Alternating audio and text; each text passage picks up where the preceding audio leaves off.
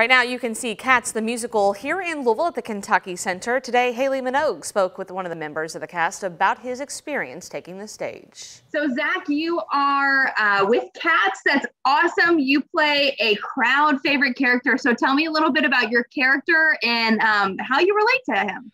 Yeah, uh, so I play the Rum Tum Tugger uh, in Cats, and um, for all the for all those who don't know Rum Tum Tugger, Rum Tum Tugger is like the most uh, eccentric cat out there.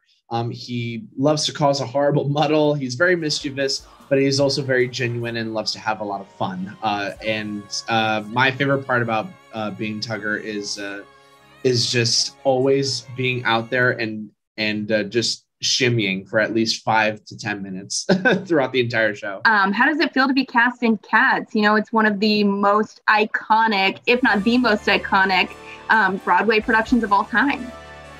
Well, like you said so yourself, it's very iconic, right? It's been going on for 40 years.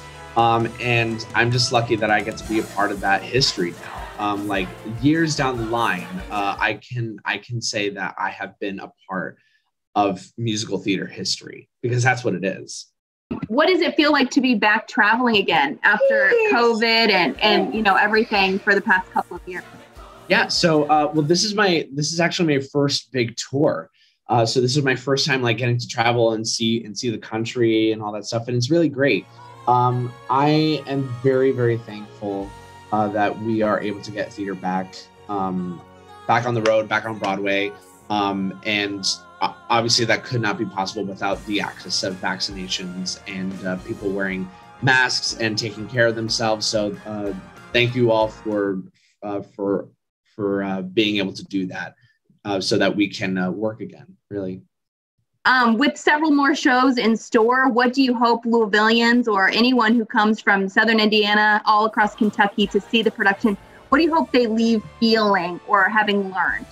Yeah. Um, so I hope that they can get a sense of understanding that we are all different, but we are all um, here for each other as a tribe, and we are always able to set aside our differences, no, uh, no matter um, no matter what um, what has ever happened in our lives. As long as we are able to listen and be open, we are able to continue as a family. The show Cats runs through this Sunday, the 23rd. You can find tickets on louisville.broadway.com.